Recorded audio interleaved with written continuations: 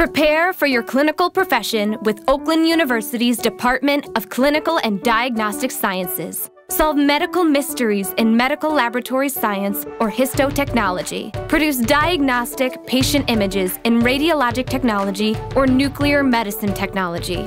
You can even choose a preclinical professions or pre-pharmacy sciences track that prepares you for medical school or other postgraduate studies under the guidance of medical professionals who are mentors, scholars, and researchers. You'll learn to provide the highest quality healthcare to the community with clinical and diagnostic sciences.